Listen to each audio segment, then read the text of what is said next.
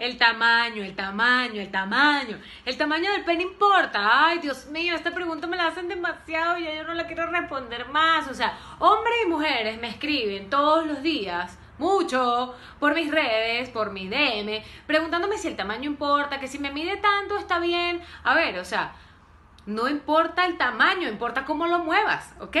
A ver, los penes que se consideran verdaderamente pequeños miden menos de 9 centímetros, por ahí, o 9 centímetros, los que se consideran pequeños. Y el tamaño promedio, ¿ok? Es 16, 15 centímetros. Entonces un pene de 12, de 14, que es la mayoría de los que me escriben, es un pene normal. Disfruten su asunto, sepan usarlo. Además, aparte del pene, hay dedos, boca, lengua, o sea, reinvéntense.